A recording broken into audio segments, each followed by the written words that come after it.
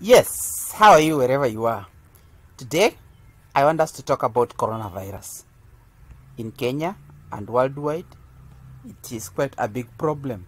It is a pandemic because the virus has caused a lot of havoc the whole world. Every country is worried about coronavirus. Let's begin. Definition of terms. What is a virus? A virus is a submicroscopic infectious agent that replicate only, only inside the living cells of an organism. That means that the virus cannot multiply outside a living organism. Then that brings us a question. If somebody is dead with coronavirus, is that person infectious or not? That is a very controversial question. But now that we know the virus only replicates inside the living cell, so once the cell is dead, once somebody is dead, then the cells die. Of course, when somebody dies, we don't expect all the cells to die instantly. And that's why we have to take precautions because the virus might still be uh, replicating and probably that it might be on the surface of the individual depending on the state of death of the person. But for sure, if somebody is dead, then the virus will not be able to survive. That is to say, literally. So, what is coronavirus? Coronaviruses are large family of viruses that are known to cause illnesses ranging from common cold to more severe diseases such as Middle East Respiratory Syndrome, MERS, and severe acute respiratory syndrome. Therefore, most of the time, coronavirus is associated with some of the common, uh, so-called common cold. But common cold is also caused by another virus called rhinovirus. So we also have another virus that causes a lot of problems, especially the respiratory route, that is Syncytial respiratory virus. That is SRV. So that means that there are so many other viruses that cause respiratory diseases as, as much as this is coronavirus. Pathogenesis. When you're talking about pathogenesis, it literally mean how the disease begin or develop. Epidemic is a disease that affect a large number of people within a community, population, or region. Pandemic is an epidemic that is spread over multiple countries or, or continent. And for our case, we have coronavirus, which is causing, which is becoming, which has become a pandemic. Initially, coronavirus was an epidemic in China. But now we are talking about the virus having spread all over the world. Prognosis. This is the likely cause of a medical condition. So if somebody is sick or somebody is dead of a virus, we will say, what is the prognosis or cause of death of a person? Or what is the prognosis or cause of sickness of somebody? Isolation. Isolation is when somebody or somebody is set apart or separated from other person. So you just isolated. You are set apart. But quarantine is isolation of people outside of certain area to prevent the spread of diseases. So that means that you set people of that means that uh, people with coronavirus can be together. But isolation means that person with coronavirus is kept alone. So that is the big difference between isolation and quarantine. About COVID 19. In COVID 19, CO stand for corona, V stand for virus, and D for diseases. COVID 19 is a new disease caused by no, a novel or new coronavirus that has not previously been seen in human being. So the virus mainly targets the pulmonary, pulmonary epithelial cells as it is initial site of infection. Remember, viral infection have one characteristic that is specificity in terms of infection. Infection. Why do we say specificity? Because when we are going to learn later, we realize that viruses have specific appendages that help them to sense specific molecules that are out there on different cells. When we talk about HIV virus, remember we talked about CD4 molecules. So only cells with CD4 molecules can be attacked by HIV virus. When it comes to this virus for a case, then there are only specific molecules that this virus can only get attached to and therefore can penetrate on such cells and go and multiply inside those cells. So when talking about gradual replication of virus results in exaggerated immune response, triggering release of many pro-inflammatory cytokines and chemokines. This immune storms is responsible for multiple health hazards in the host, ultimately leading to multiple organ failure. So when you talking about COVID-19, we are talking about a virus infecting the surfaces, uh, the pulmonary epithelial cells. That is the cells lining the surfaces of the respiratory system. When you talk about the respiratory system, we talk about the whole component of the respiratory system. That is starting from the lungs, going up to the nostrils. Or we start from the nostril, going down to the lungs, and specifically the alveoli. So the alveoli are lined by special epithelial cells the nostrils are lined by special epithelial cells. And these epithelial cells are the cells that this virus has preference over other cells. And that's why if you decide to, to, to go, of course, to consume this virus through the mouth, it may not cause any problem because those cells that this virus have preference for are not there. And the environment in the stomach is not ambient enough to allow this virus to multiply and cause this problem. Therefore, the likelihood of you getting sick by consuming via oral of this virus is very, very negligible, very small. Transmission is usually via, let's look at the signs and symptoms. Of course, transmission is usually via airborne droplets to the nasal mucosa. So that means that you need to have inhaled these specific droplets containing the virus for you to be sick with the virus. So let's look at the signs and symptoms. Let's start from the mild. Mild, the disease manifestation is mild and cannot be detected by imaging pro uh, procedures at that stage. The common signs and symptoms we have mild to high fever, pneumonic condition may lead to respiratory ailments and can be detected using X-ray and CT scan. Severe form of the COVID-19, stressful respiration, respiration rate higher than 30 per minute, per minute. In resting stage, oxygen saturation is usually less than 93%. Pressure of oxygen in, artery, in arteries is less than 300 milligram of mercury. Critically severe symptoms, failure of the respiratory organs leading to dependency on ventilators, shock, multiple organ fail failure, Patient needs intensive care, monitoring, and treatment. Let's look at the structure of the virus. The virus is spherical or pleomorphic envelope particles containing single-stranded positive sense RNA associated with nucleoprotein with a capsid comprised of a matrix protein it is very complex for anybody to understand this concept, but the whole idea states that the virus has a nucleic material, the viral nucleic material, is surrounded by something else other than the capsid.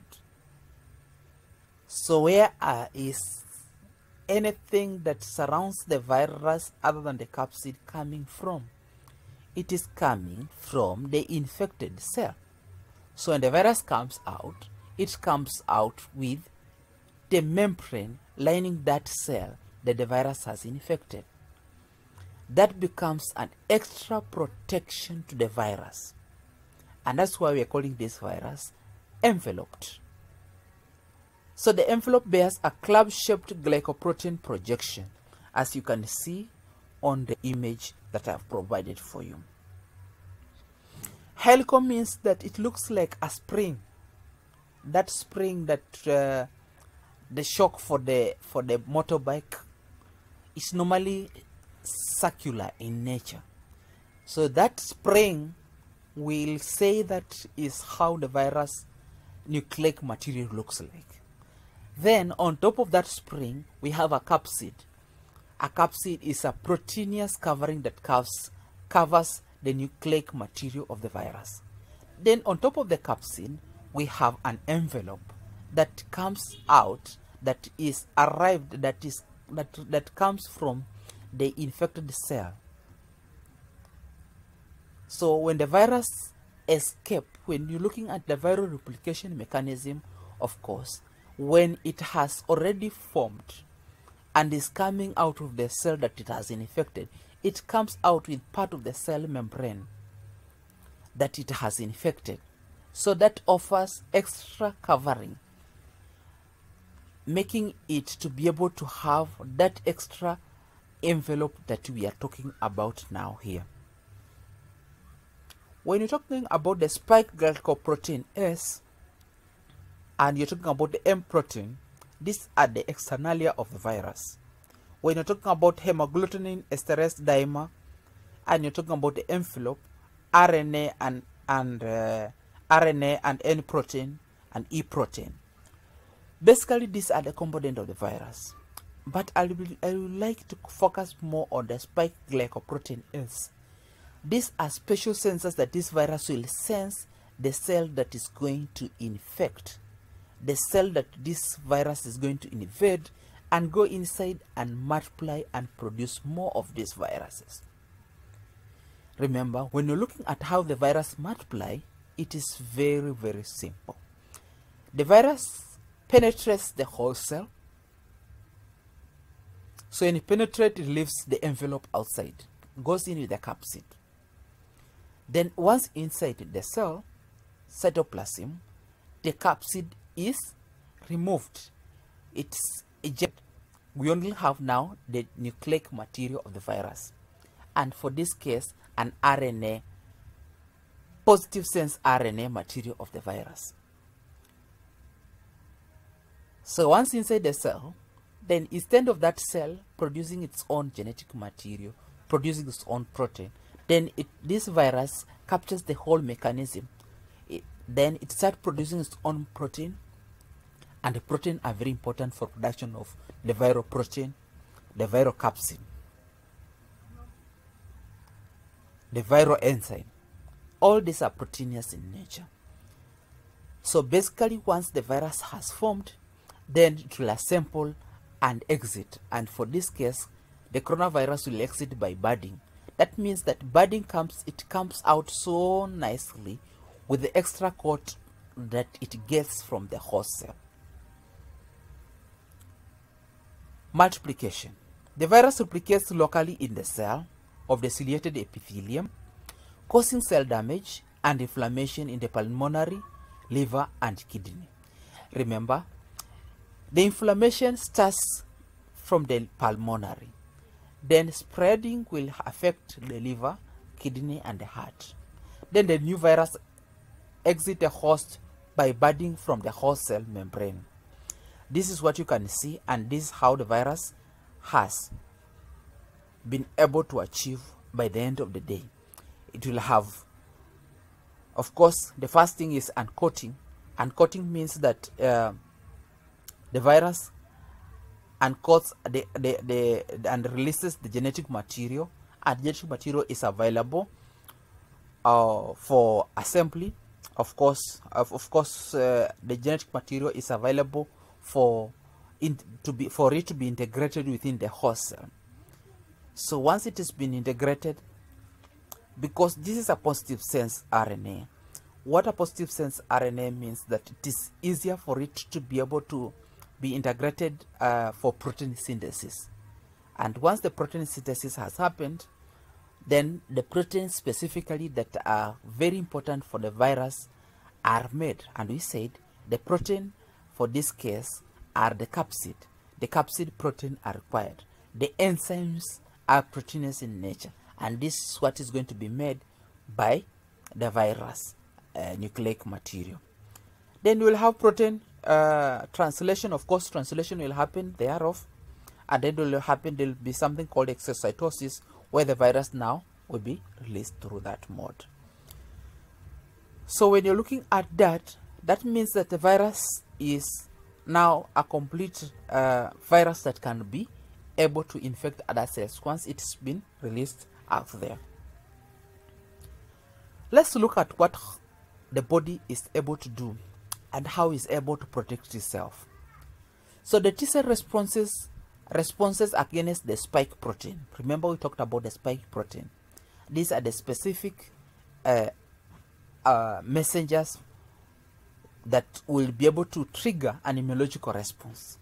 So the CD, the CD8 plus uh, T cells are the main inflammatory cells and they play a vital role in the virus clearance. So inflammation will help in clearing this virus. The CD4-8 T cells, CD4, uh, uh, CD4-8, CD4 uh, 4 T cells and natural killer cells also play a very big role in trying to ensure that the host is protected. Well, let's look at the role of the B cells.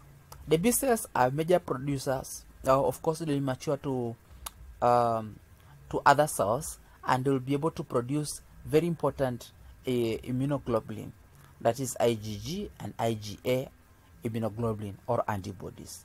Antibodies, of course, antibodies uh, are not that long lasting. And it provides passive immunity. And the duration of protective immunity may last 6 to 12 months. So that means that once the body has been able to produce the antibodies that antibody will not last for too long. So the appearance of antibody in serum and nasal secretion is followed by resolution of the infection. So when somebody is infected and that's why you have a symptomatic patient that means that they have produced enough antibodies to be able to clear the virus. And that will be able to protect them for at least the next 6 to 12 months. And of course, this immune uh, wanes within a year or two. And that's why we say uh, uh, humoral immunity is not long lasting. Humoral immunity is facilitated by the B cells that will be able to produce specific immunoglobulin that will protect you for a shorter time. Epidemiology Coronavirus disease uh, 2019 is caused by SARS uh, COVID-2, a newly emerged coronavirus that was first recognized in Wuhan, China in December 2019. That's where it began. So basically, when you're talking about coronavirus, that is where it began and now it's spread all over the world. So let's look at at risk population or group. Who is at risk of developing the severe form of coronavirus? Everybody is at risk, but who will develop the more severe form that may also result to death? These are people with underlying health conditions among COVID-19 cases with severe diseases and death. That, uh, of course, these are people with underlying health condition. For example, people who are diabetic, people who are HIV, people who have HIV virus that is going towards the AIDS status, and people who are old, the elderly, and people who are hypertensive, and with so many conditions that predisposes the immune system to be very weak. People whose uh, who, whose immune system is defective in one way or the other. Underlying conditions include, of course, hypertension, diabetic, cardiovascular diseases, chronic respiratory diseases, immune, immunocompromised status, cancer, and obesity. When you say immunocompromised status, we talk about a situation where the body is not able to protect itself against infectious diseases. Pre-existing medical conditions such as coronary pulmonary disease, malignancy, neurological disorder, congenital heart diseases, chromosomal abnormality, and chronic kidney diseases make you to be at risk of developing the severe form of this infection. The elderly who are 60 and above have a higher chances of developing the severe form of this virus should they be infected. Diagnosis. Diagnosis, uh, mostly we talk about cold caused by coronavirus cannot be distinguished clinically from other cold in any other form.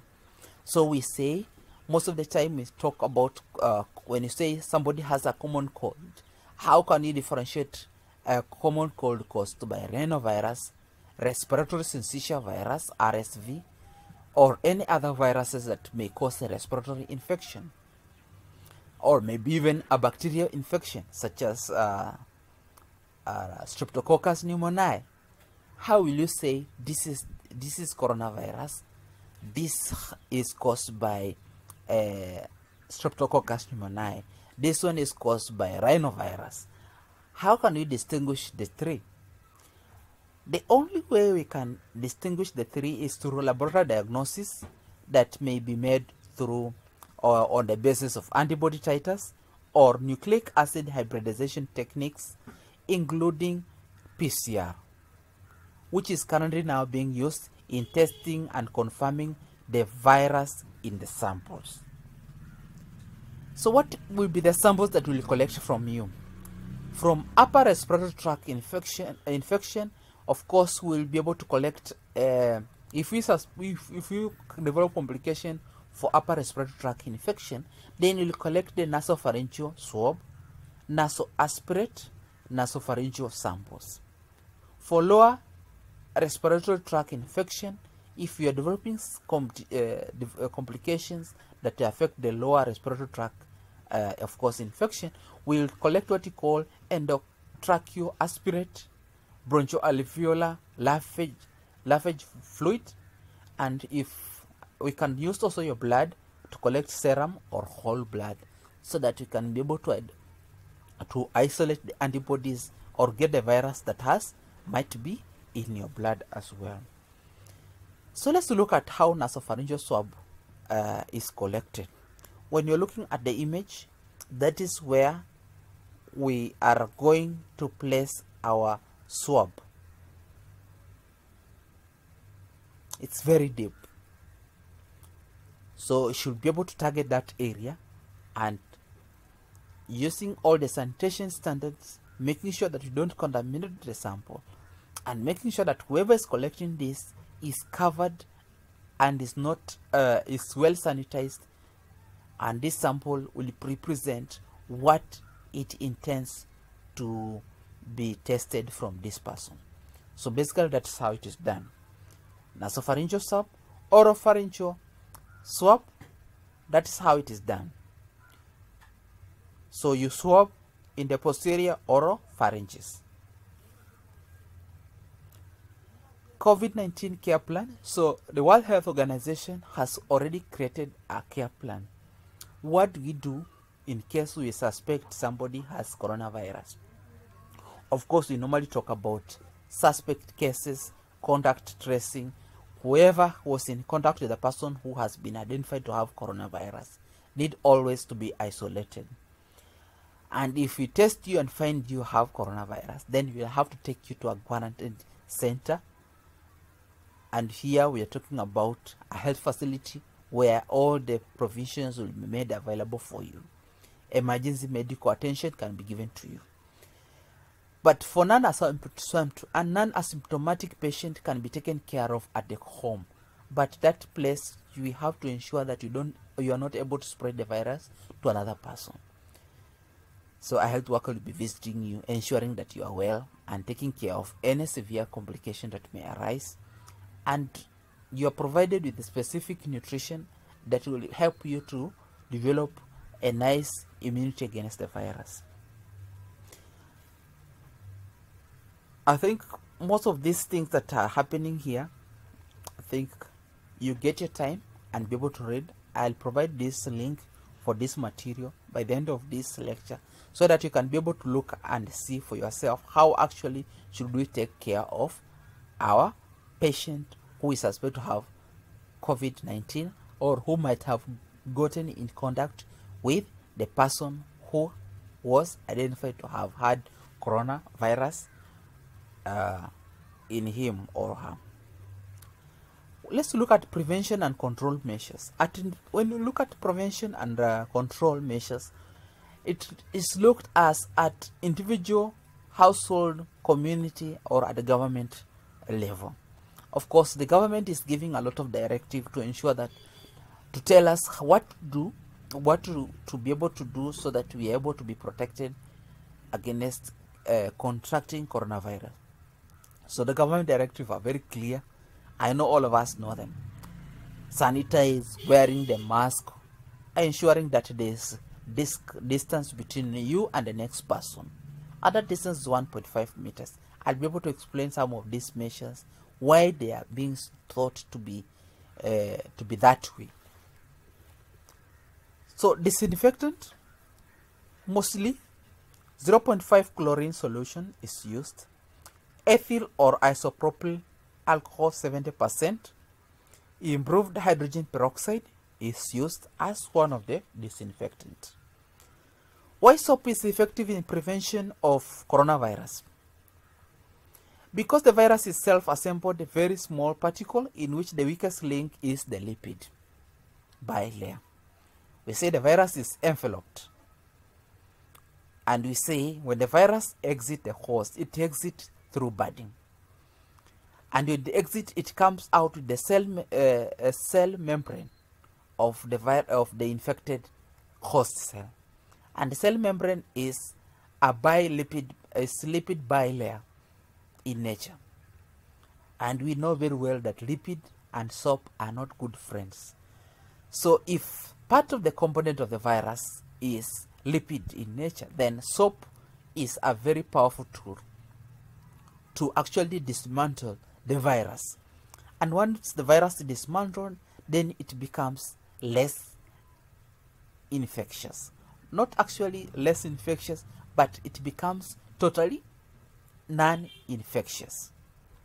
Soap dissolves the fat membrane and the virus falls apart becoming inactive. That is a fact. So the best soap should be the one that lathers well. The one that is able to lather and form a nice lather and we'll be able to clean and dismantle the virus very nicely. That means that we have to take time. Wash your hand. Don't be in a hurry. We say the minimum time you should spend hand washing should be five minutes. By that time, it is scientifically proven that the virus will have been dislodged from the surface that's from your hand. So that's how we do hand washing. I think hand washing is a, a skill that I want to demonstrate later on in my video. Why alcohol based product to be used to prevent ourselves from the virus?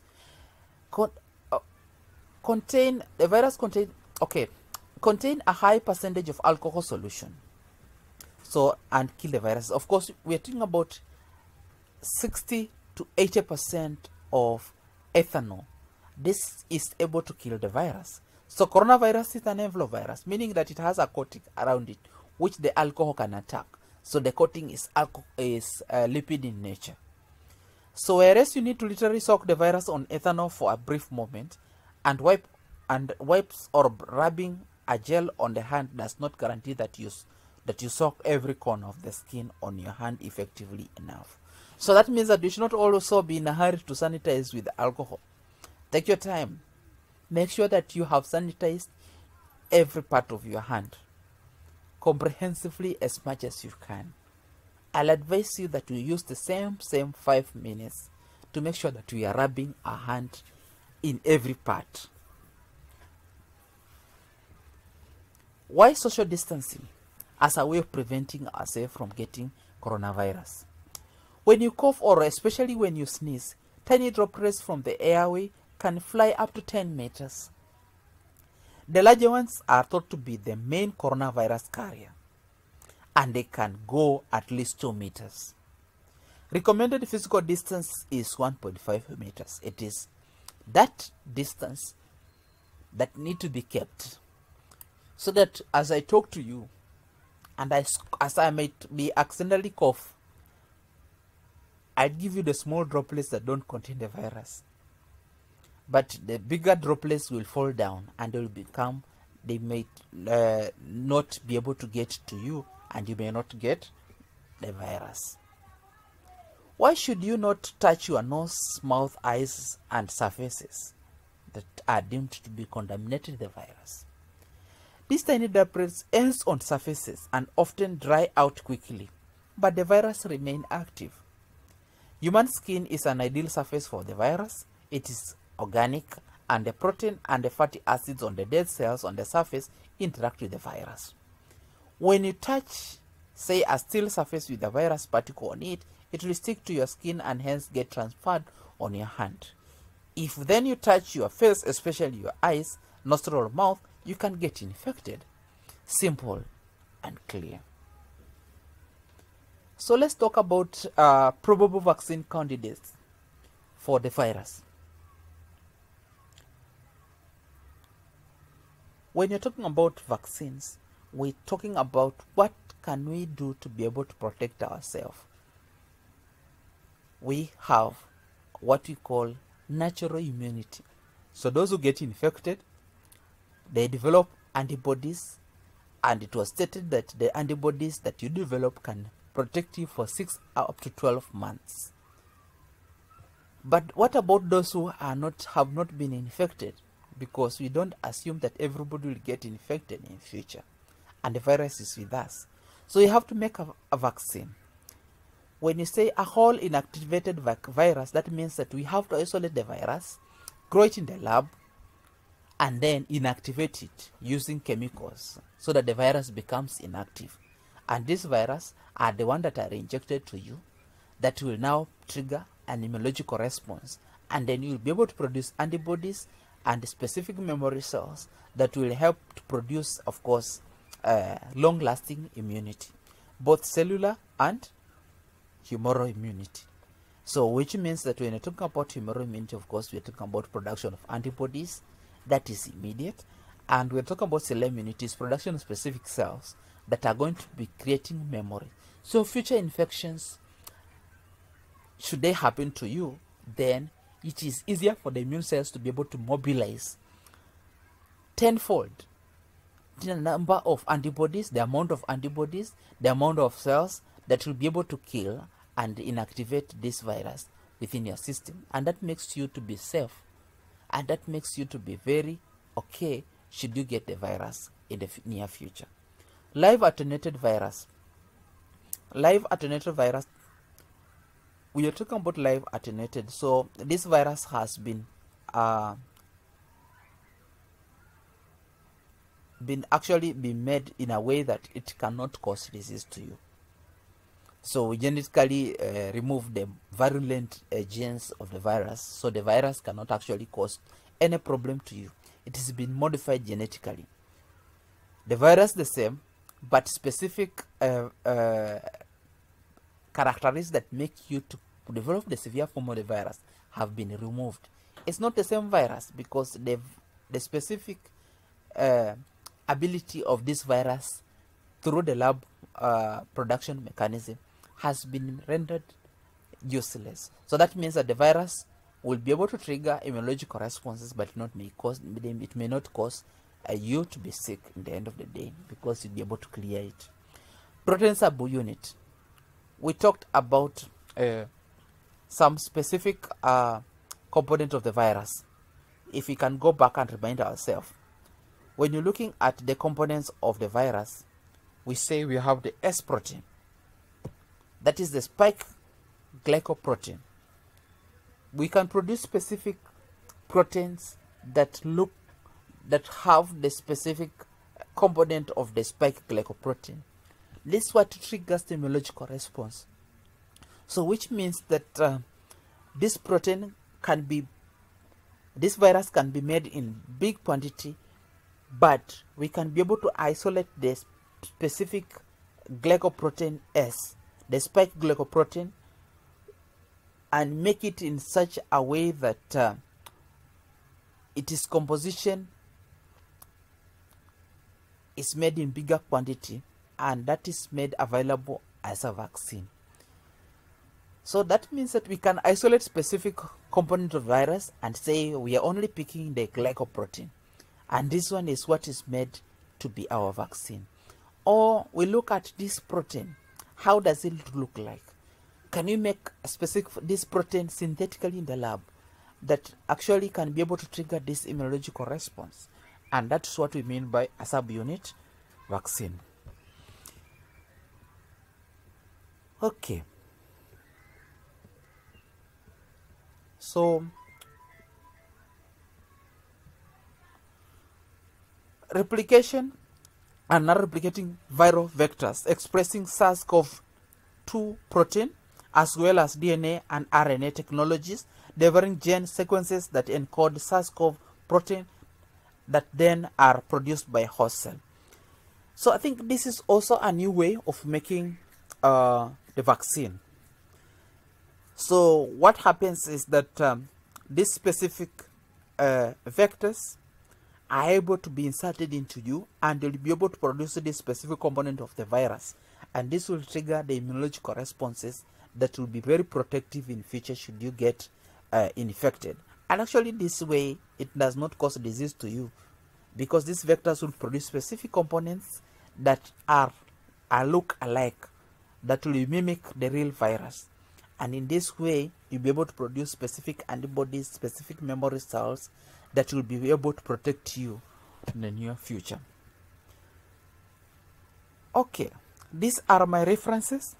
And um, I will be able to be able to share with you in my link on my channel so that you can be able to read more and be able to understand how coronavirus can be protected, how coronavirus can be managed, how uh, coronavirus can be prevented within a country or within the world so that in future we are free of coronavirus. Thank you so much. If you have any question, I think you can be able to comment down below. If you have any challenge, you can inbox me. We can be able to talk. For our student at North Coast Medical Training College, you know where to get me. Through MLM, you can be able to chat to me. I'll be able to help you understand what COVID 19 is. Thank you.